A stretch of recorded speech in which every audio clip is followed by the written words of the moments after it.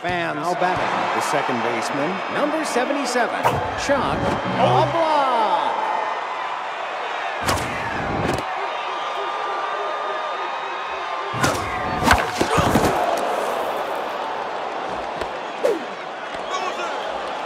How about it? Left fielder, number 20. three.